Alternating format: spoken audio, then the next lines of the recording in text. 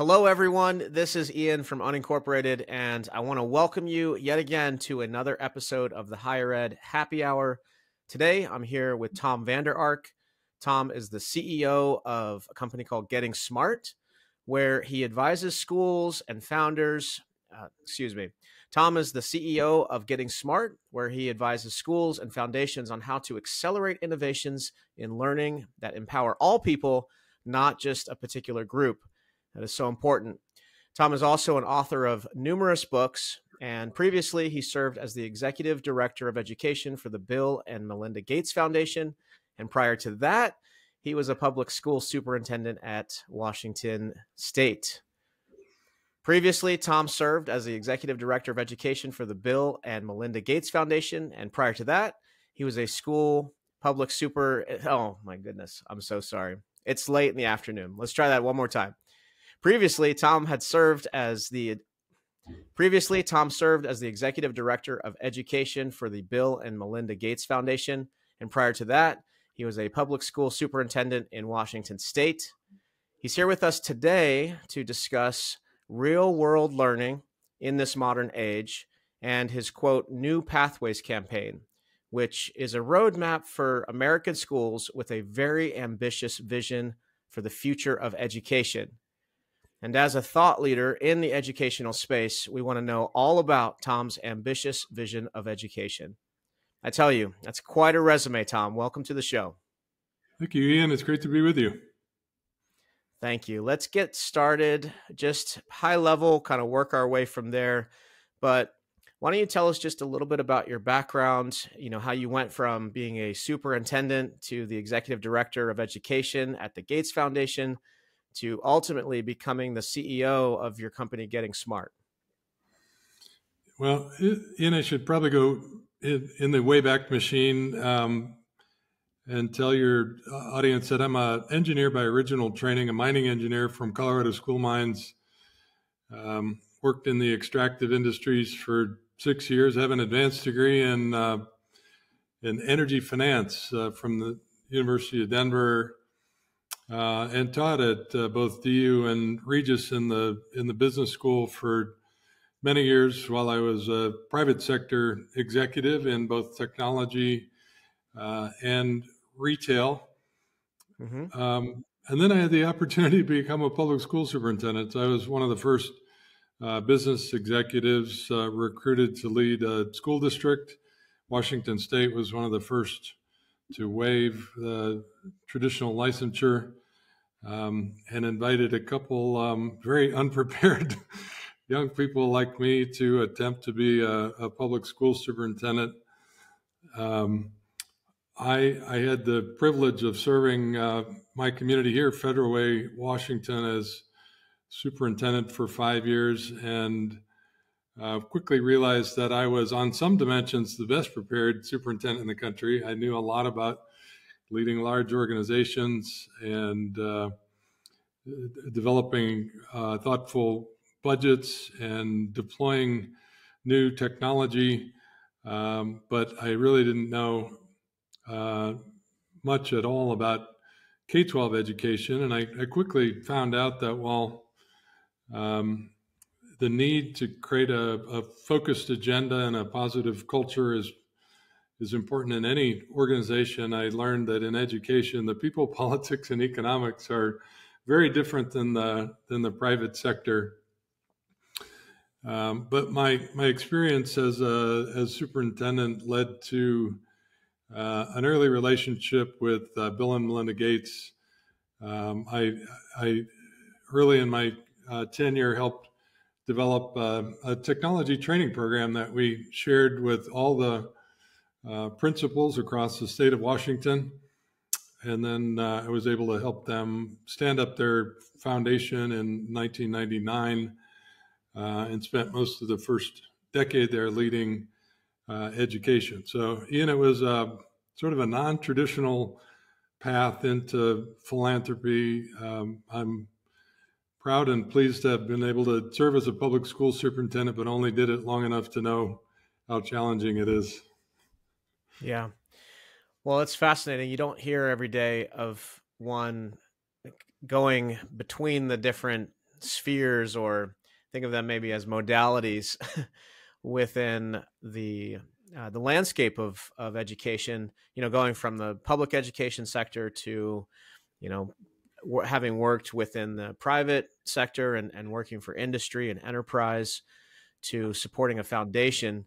Um, that's that's quite a blend of experience, and you've somehow managed to successfully transition in between each of those ecosystems or each of those modalities. How did you ultimately then land with the the company getting smart now and i'm referring to it as a company but maybe you refer to it more as an organization or an advisory board how did you how did you ultimately form getting smart?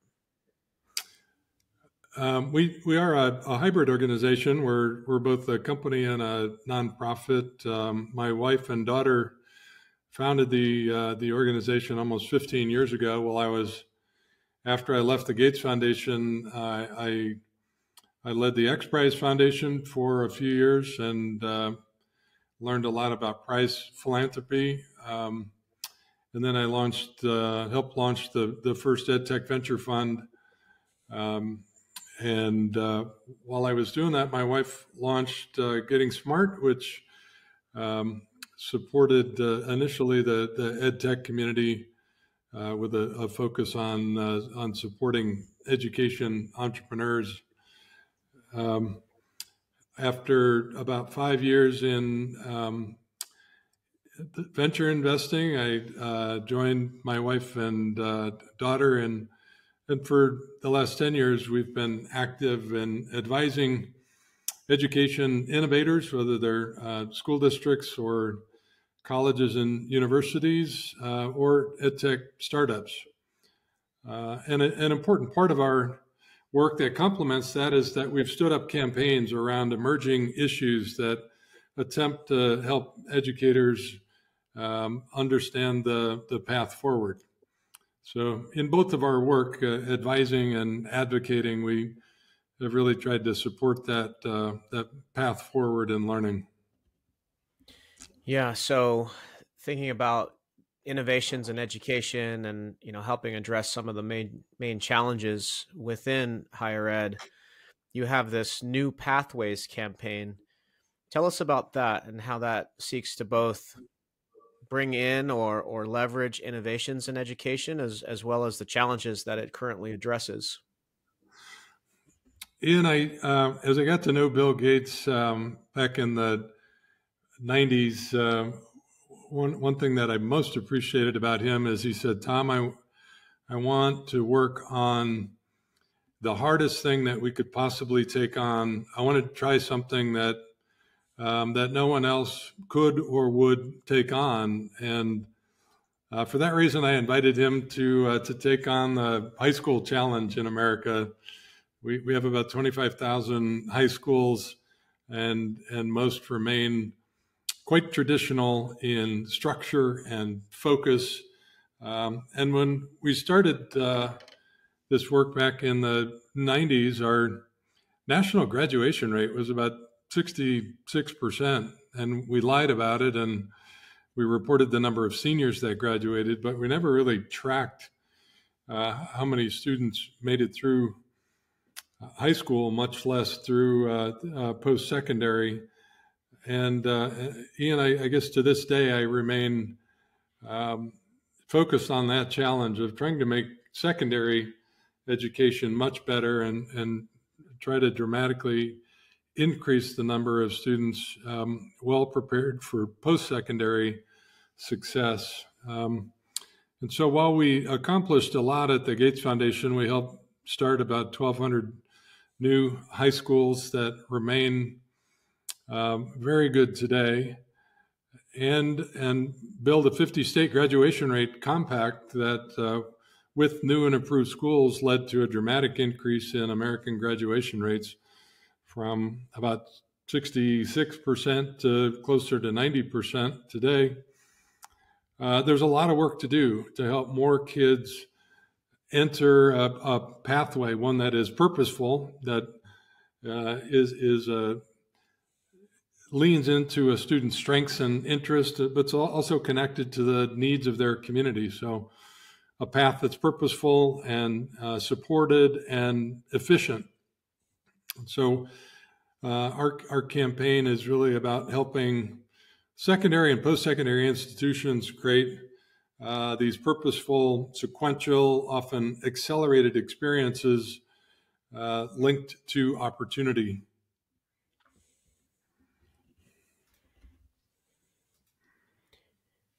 And how did you find this passion, this driving force along the way? Was it because of the initial design challenge that that Bill gave you, Tom, or was there something else that was that was driving you earlier on?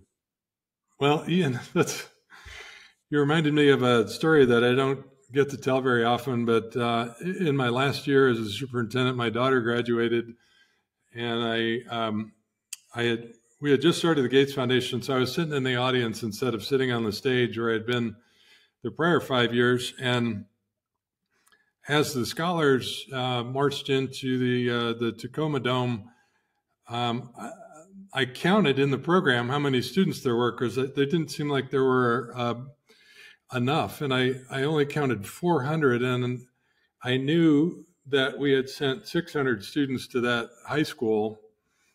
And so sitting there on what, what in what should have been the happiest day of my life, I thought about what happened to the other 200 students that on my watch didn't make it to graduation. And it, it was that experience as much as anything else that is really a conviction in my life to try to help more young people reach a high school graduation and, and then initiate a, a, a meaningful, a purposeful, and affordable um, post secondary uh, career linked to, to opportunities. So, in that respect, Ian, I think this work is, is really uh, personal for me.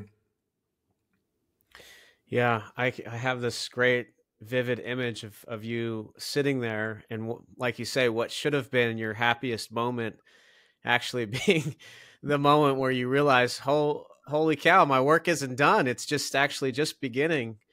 And that uh, right. uh, that spark no, was sitting, alive I'm well. sitting there, my, my wife's elbowing me, like, what's the matter? And I'm like, well, I just did the mental math, and there were 10,000 yeah. kids on my watch not well served by the schools I was responsible to support. And so it it's that sense that we we we just have to do better in America at putting more kids, inviting more kids into creating or finding uh, a meaningful path to, to contribution.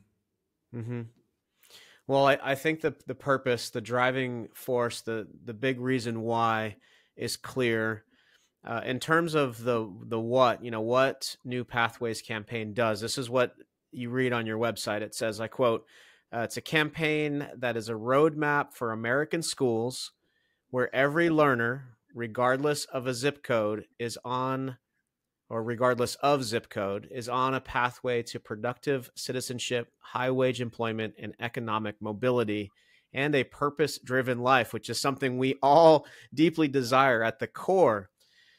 So that's that that's what it is. Now how? How do you implement this? Is it you know on campus at these high schools? Are these other high schools that you're setting up? Like what's the what's the way that that you actually deliver on this vision and this mission that you have here?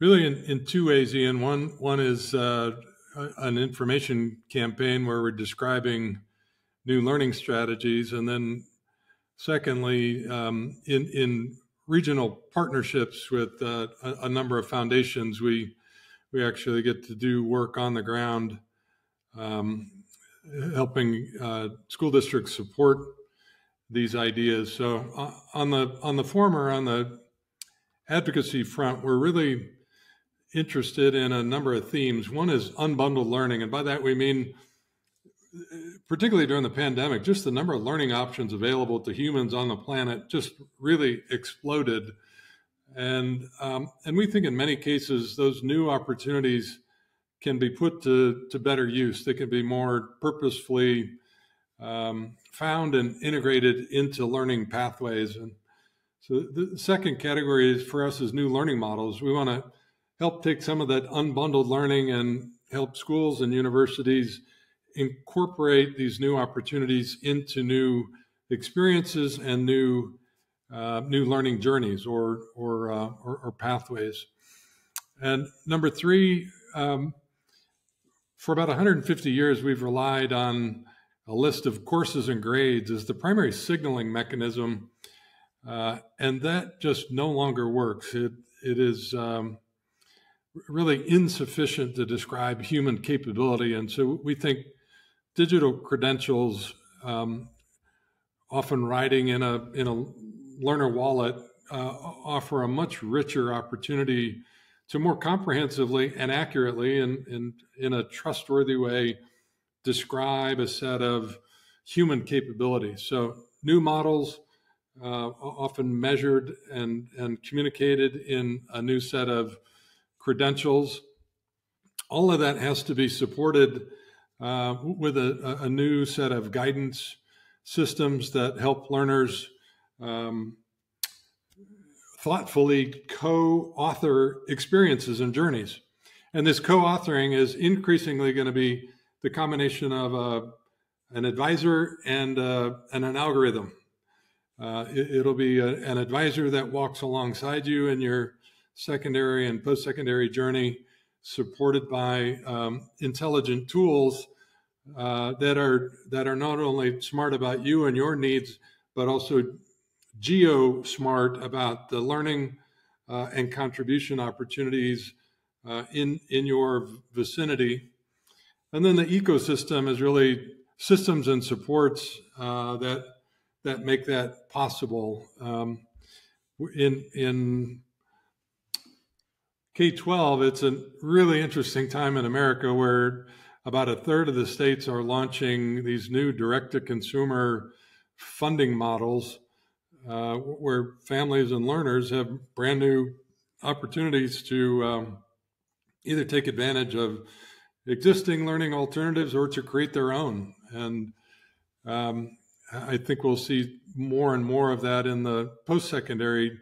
space as well. And so we're, we're interested in, um, in, in helping to guide those new opportunities in a, in a productive way. So those are a few of the themes of the campaign. And one, quick example of where and how we're trying to uh, help enact new pathways on the ground is in uh, Metro Kansas City, where we have the the privilege to support uh, about 85 school systems in both Kansas and Missouri with the support of the Kauffman Foundation. And all 85 of those um, high schools in, in 35 systems, I should say, are implementing real world learning and they're creating new pathways that include internships and work based learning and client connected projects and college credit opportunities, as well as industry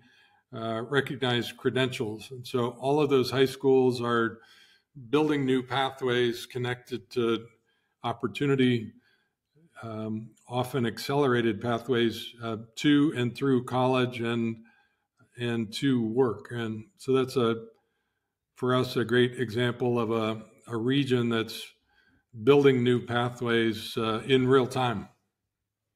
That's a great example. So new pathways if i heard you correctly it is looking to leverage the unbundling of learning and making that uh, unbundling those opportunities more purposeful you're looking at creating or leveraging new opportunities new learning journeys or new pathways i now see why you named it that way yeah. and uh, in some places augmenting or maybe even replacing the grading system with digital right. credentialing. Is that right? Yes. That's really that's really great. It's a great program, great format. I'm wondering if a college wanted to bring new pathways to their programs, what would be the steps that they would take in order to do so?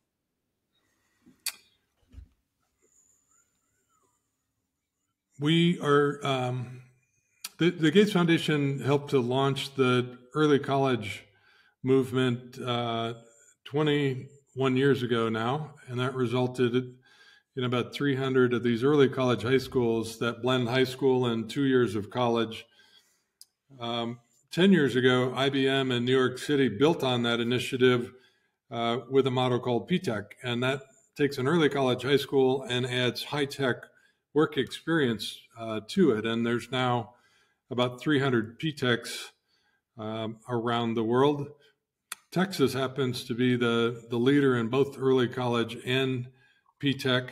They quickly developed a, a supportive set of policies uh, and now have more PTechs and early colleges than the rest of the country combined. And they are launching a new initiative to uh, to double or triple uh, the number of those uh, dual enrollment institutions. And so that my first answer would be uh, to look for ways to be um, actively engaged in the in the dual enrollment space. Um, I'm I'm happy to report that there are um, more than 500 um, post-secondary institutions in, involved in uh, in that space today. Um, it's hard for an R1 to step into that space, um, but we have seen productive examples of it. Um, Metro Early College in Columbus is on the uh, Ohio State campus and is a, a terrific uh, partnership.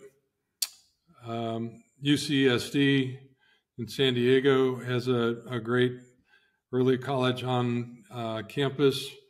Um, Purdue University took a different approach and sponsored a network of high schools called Purdue Polytechnic High School uh, to build a, a more diverse um, enrollment base from Indianapolis. And they've had a, a beautiful um, partnership that includes but isn't limited to, to dual enrollment. So that'd be the first answer is to look for ways to get involved in uh, in dual enrollment to create more accelerated and affordable pathways through post-secondary. Mm-hmm. And and would these individuals reach out to you as an advisor to help implement that or, or source those opportunities? Uh, they they certainly can. Um, we'd love to see um, university officials partner with their uh, local schools directly.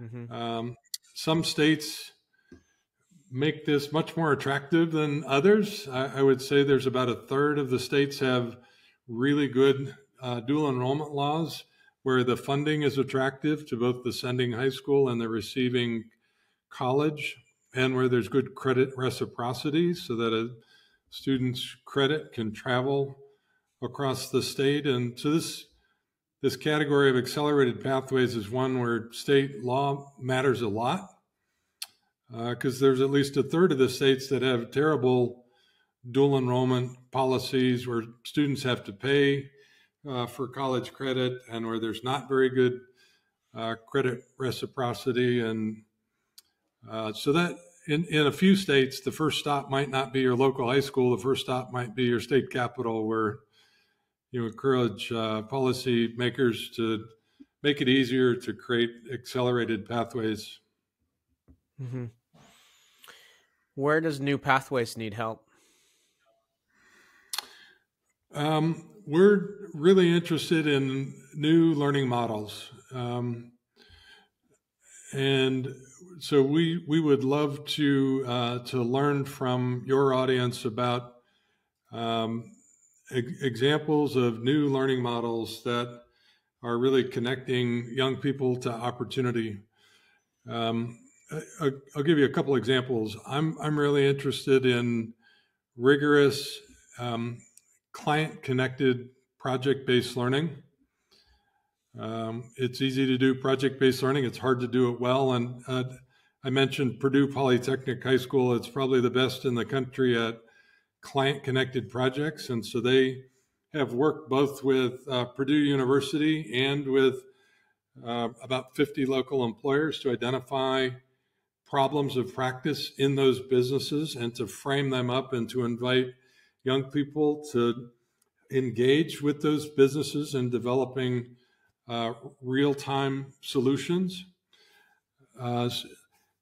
But structuring those is really challenging, and then building a sequence of those as the um, primary backbone of high school instead of going from class to class on a 50 minute schedule. If, if you really build a sequence of community connected projects uh, and then build skill building around that, what you end up with is individualized schedules where every adult and every learner is on a, a unique schedule. So that's a that's a new kind of a structure uh, that Purdue Polytechnic is is piloting, and so we'd love to learn about models like that that connect students with work that matters. We love to uh, learn about ways that high schools and colleges are working together uh, in productive ways. Um, one thing we may dive into um, further in our conversation is that we see in higher education is the move to lifelong learning uh, and, and higher ed being increasingly viewed as uh, instead of a four year degree or whatever it is, a six year degree, um, a lifetime of learning, um, but often taken on in short chunks around specific uh, credentials. And we're excited to see more and more of that happening where higher ed is becoming more modular, uh, more learner centered, more linked to opportunity, and, and often um, credentialed or certificated um, in ways that might stack into degrees, but uh, shorter chunks that are linked to specific um, contribution opportunities, and um, and some of these can be entered while in high school, um, and so the the potential for these blended institutions that are often earn and learn ladders, where a student um, might be working and learning um, at the same time, sometimes with the employer subsidizing uh, that learning uh, learning journey. We think those kind of learning models are really interested. And um, so we'd, we'd love to hear from any of your listeners that are engaged in or know of interesting models that are engaging, uh, particularly young people, in new and powerful ways. Um, so, new experiences, new structures, new uh, business models behind them, new signaling systems like credentials around them. We think all of those are uh, are really interesting and would love to to help get the word out on um, the good work that's being done around the country. That's a great call to action. So those listening, you heard it here first. Reach out and please share what you're up to in terms of new learning models. I love this this phrase, this catchphrase that you left us with, the earn and learn ladders that are out there. That's great. It's the first time I had heard that. We've had some experience with uh, Riipen that touts to be the number one work based learning platform. So that connects learners with employers and educators. Are you familiar with them? Sure. Yeah. So they've, um, we've done a handful of projects with them. And then HubSpot, their educational partner program, has also been a great way to bring in yeah. some of these opportunities into into class they're terrific, and um, and in K twelve Transio uh, and Emblaze, emblaze.org and transio.com are great examples of uh, work-based learning platforms that make it easier to find, secure, and manage uh, work-based learning experience. Excellent. Excellent. So I heard you say a few answers to this question already. You mentioned that higher education can become or is becoming lifelong learning, taken in short chunks as credentials, that higher ed can be more modular, more learning centered. I see that as really hyper personalization. So making the, de- the degree tracks or the majors and minors personalized to the learner and to uh, each learner at the individual level. What else would you include in the ideal picture of higher ed? What what is your ideal picture of higher ed in addition to those yeah. attributes? Well, um, even college graduates should be employable. So I, I think uh, career education and exploration from day one, you know, as part of the orientation, even before, as part of the enrollment. Uh, I, I, think eh, I'm, I'm really great, grateful to see this becoming a real priority at most college campuses today. And while I agree with my my uh, friends and colleagues in the liberal arts that in some respects the liberal arts are more important than ever, it is more important than ever that in including the liberal arts uh, colleges, that every student enrolled in a liberal arts program must be in a career development and career exploration um, pathway where they're thinking about their um, employment during college and after college. Uh, and liberal arts can and will be valuable if and only when there's a a path to employment um, as as part of that. Uh, so I would love to see more of that. And and in K twelve, by the way, we're trying to push um, career education all the way down to elementary school. We think that starting even in the primary grades with uh, a, a vocational identity, beginning to understand your own strengths and interests and how those match up with possible futures uh, is a conversation that we can and should start early. Uh, but I think it has to be a, a daily part of every college student's uh, experience.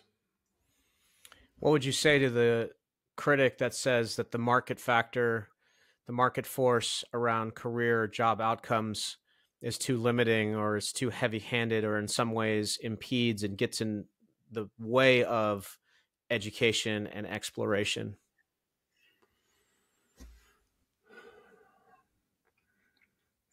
I I think the market is uh, spoken on this issue. I, I, think the current enrollment numbers um, make it really clear that uh, uh America has just said no to um, expensive degrees that don't have good employment outcomes. Um, and I don't think colleges will be open for long if they don't take the employment um, mandate seriously. Yeah, that's a great answer. It, it is still a spectrum though right? Like you can't go fully into the career side of the equation. Is that is that fair?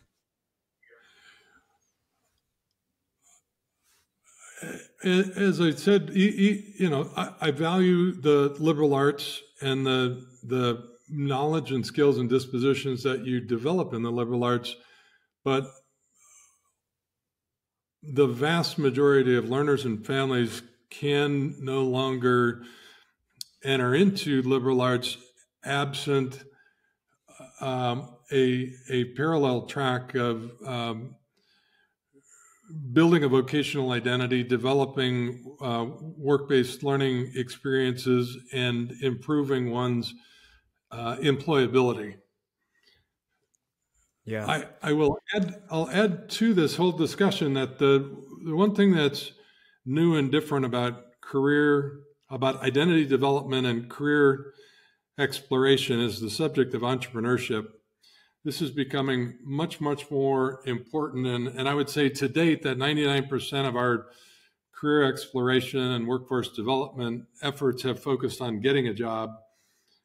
I think we need an equal emphasis on making a job and inviting learners to think about themselves as an employer not just an employee, because almost every young person is is going to lead some kind of a portfolio life where they are um, an employer in one uh, aspect and an employee in another aspect, where they're part of the um, the gig economy uh, while they're pursuing a side hustle, while they're an employee and so they'll be going back and forth in, in terms of emphasis of whether they're an entrepreneur or an employee, and even in the employment field, um, what has becoming more and more valued is the ability to spot opportunity and to take initiative. This is uh, what I so appreciate about um, the Keen Network in higher education. It's 50 of the best engineering schools in the country that share a commitment to teaching entrepreneurial mindset to engineers. And they teach opportunity spotting, um, solution designing, and impact delivery. And, and I think that's a, a beautiful way to incorporate entrepreneurial mindset across the curriculum. And so, in that sense, it's not thinking about engineering and, and career development as something separate. It is incorporating entrepreneurship into the way we think about um, and teach uh, engineering. Yeah, again, you've left us, I think, with a, a really good paradigm shift to reflect on, which is the process of emphasizing making a job, not just getting a job. I, I heard recently that as, as uncomfortable as the great resignation has been for many employers, we haven't even reached the point at which there's going to be the great never even applied for a job reality for employers. So I think you're ahead of the curve on that that idea. I, I still wrestle with the arts and culture as a as a way to still open up yeah. market uh, opportunities and of course the uh, the on the supply side um, how to meet maybe a demand that isn't there that you can't necessarily manufacture. Yeah. So I, uh, I appreciate that, and I let, let me just say that I um, I would love to see every secondary student and most post secondary students experience success in the arts prior to graduation. When we think about new pathways, we really want to think not about preparing students for what's next. We want them to experience success in the world of work, um, in college, in the arts, and in civics. And we want them to experience that success in, in high school. What I, I think we can do better is in the way that we teach human expression, including but not limited to performing arts, is that we can teach expression and entrepreneurship together so that we can invite learners to think about how they can express ideas that are important to them and their community and do it in a way that is scalable and sustainable. That might be via a, uh, a social impact campaign, or it might be versus uh, through a business model. But it's inviting learners to think synthetically about not only the expression, but the way that expression is delivered as a as a social change mechanism, and that really combines this idea of expression and entrepreneurship. Um, and I, I, think we can do a better job of teaching that in in both secondary and post secondary. Yeah. Let's talk a little bit more about technology, especially as we're having this discussion and OpenAI is continuing to increase its user base. And, and I think I read recently that now the plan is to scan every eye- eyeball so that there's a crypto wallet attached to everyone's identity. Um, how do you how do you see technology impacting education here in the in the near future?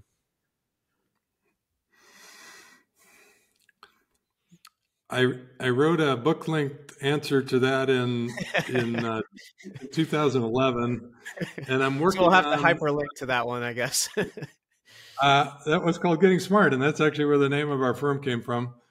Um, I, for for the Hoover Institution, I, I'm trying to write a 10 page answer to this question right now. That is both the history of EdTech whether it's had any benefit or not, and the future of edtech, and and trying to do that in ten pages is is challenging. Um, so so let me say that um, as a tech optimist, um, I, I heard on a podcast this morning that the business sector that I was part of has has been trying to deploy technology thoughtfully for for 40 years, and in most cases is still looking for a real return on investment. That's certainly true in education. If I think back at the money that we've spent um, going one to one in attempting to personalize learning um, over the last 30 years, it's if you look at traditional outcome measures, reading and math scores in particular, you can't see a return on investment. That's I, surprising I do me. think it, it's um, it's disheartening.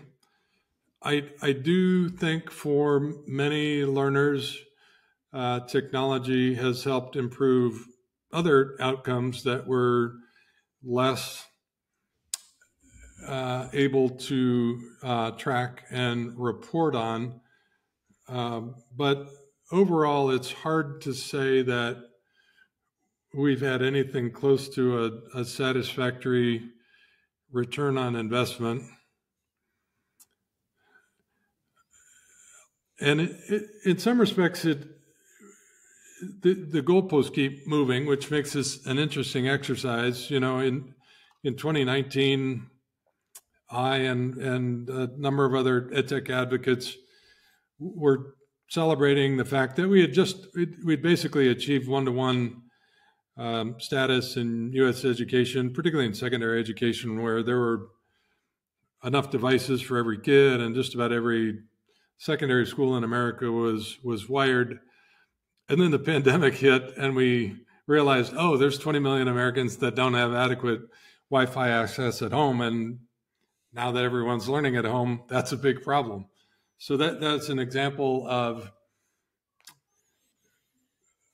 setting new goals that it's not good enough just to have access at school, that you really do need access at home for anywhere, anytime learning in, in secondary and post secondary. there are many um, examples of of really great technology enhanced education. I, you know, I I had the opportunity to be one lead one of the first one to one school districts in the country, and my my own daughters benefited tremendously from really thoughtful teachers that did a beautiful job of integrating technology into their education in in the in the 90s and uh, the school districts that were the school districts and universities that had a, a, thoughtful blended learning, personalized learning program We're very quickly able to flip uh, into remote learning and operated a, at a very high level uh, that has continued to this day. But it it um, it definitely uncovered the fact that most K 12 systems and most universities were woefully um, underprepared, and even those that had adopted um, platforms and, and primarily digital curriculum, um, for the most part, were not ready for the shift. So that was sort of a disappointing answer, um, but I, I think spotty examples of success, but overall, I think we've we, uh, we we've wasted a lot of money and um, just haven't seen the results hoped for. It it one last quick thing on this, Ian. It's interesting to note that that if you look at the last thirty years, we had three really interesting meta trends underway. We had standards based reform which is the idea that if you can push top down what kids should know and be able to do, and standardized testing and strong accountability, that things would become better and more equitable. That didn't work. And we had ed tech, um, and we had the explosion of new school development, uh, not just in charter schools, but also in public schools, some in private schools. But, you know, we saw 12, 13,000 new schools um, in in the last couple decades, and those three trends of new schools and and new tech um, and new standards sometimes collaborated in useful ways, but a lot of times were were sort of at odds and and competed with each other. And I I think to some extent the standards movement um, dampened um, and diverted productive uses of technology. So I think that's one of the reasons that things didn't work out as uh, quite as as well, at least as progressively as as we hoped. Mm-hmm. Well, I, I think your answer is actually quite good. You said it was a disappointing answer, but I I feel that it was actually very valuable answer because it's one that I didn't expect.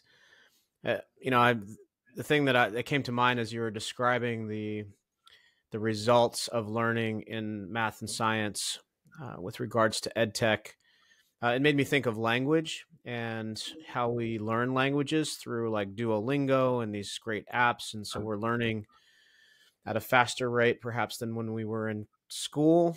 Um, also right. thinking about you know practices like mental fitness or meditation, kind of um, more on the personal development side? Are we learning faster in ed tech? So, kind of the non-standard things or or, or um, skills and attributes that are aren't maybe typically measured. Maybe there's some advances there, and then the other thing that sprang to mind is as you're describing this is maybe the return on investment, even though we're moving this proverbial goalpost further and further maybe that is a sign that we're actually learning along with the technology. So the technology, in a way, the example I like to give is during the pandemic when people did go home and they did have to figure out how to get on Wi-Fi and they did have to learn how to deliver the same course to a student on their phone. That that forced all of us to learn yeah. in a way and prepare us for technology or or maybe those career outcomes that are available today. So maybe just by virtue of technology's advancement or ed tech's te- um, advancement, maybe we're learning as a virtue of that or as an outcome of that um, in a more you know indirect way. I'm sure that's true. And Ian, we we could also, um,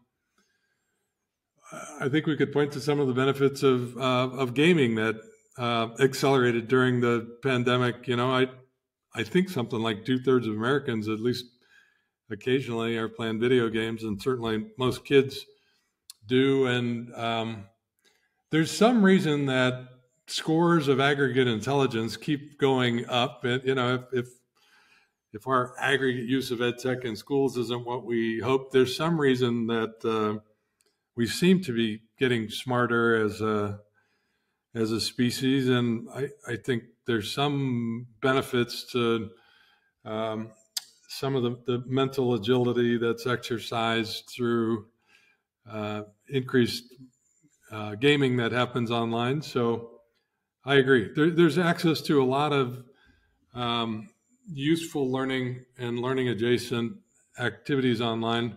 We do we do have to admit that social media, I think, has largely gone off the rails as as a productive activity. You know, in 2010, I was a social media optimist, and I I thought that that we'd all sort of level up and have a more civic discourse, uh, civil discourse um, around a shared fact base, and um, almost the the exact opposite happened as as as businesses chose advertising as the business model and focused on attention harvesting uh, as their uh, primary delivery strategy,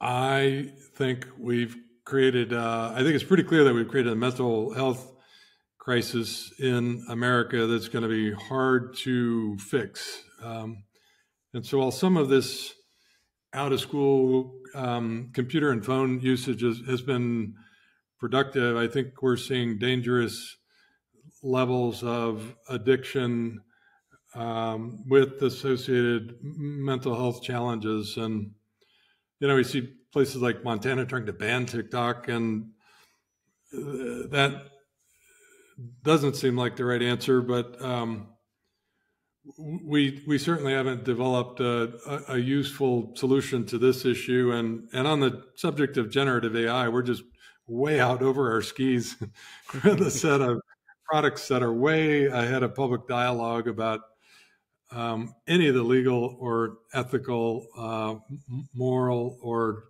uh, mental health issues associated with their use. Yeah, well, that all of that could be a topic for our next discussion.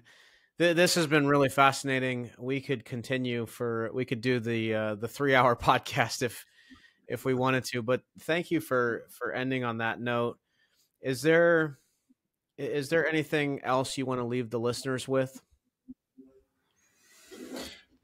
Um, well, an- another thing we we uh, didn't touch on is that we're launching a, an initiative next month uh, uh, to support new micro schools. So we we've raised a fund uh, to help um, families and uh, and school operators develop new small schools around um, this new pathways idea of new new learning models um, attached to uh, opportunity in in new ways. So that might be another interesting future conversation.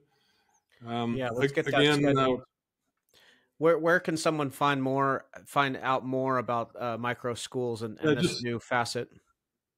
Just uh, check out gettingsmart.com. Uh, we'll, we'll make uh, we have a lot of micro school resources on the site, and we'll be making uh, an announcement and uh, make some grant opportunities available to folks in the near future. We'd love to have many of those models, you know, linked to higher education opportunity. We hope a number of those are uh, accelerated pathways in some in some respects. So, and as we discussed earlier, we'd love to hear from folks that are working on new learning models in secondary or post-secondary education, new ways to engage people in meaningful work linked to opportunity. Um, shoot me a note at tom at getting smart, or you can find me on, I'm still on the Twitter machine for, for the time being. So uh, reach out and uh, I'd love to, to learn more about what your uh, listeners are doing to innovate for equity. That sounds good, Tom. Thank you for your time today. You've given us a lot to think about and a lot to uh, to reach out and follow up on. Much obliged. Thanks, Ian.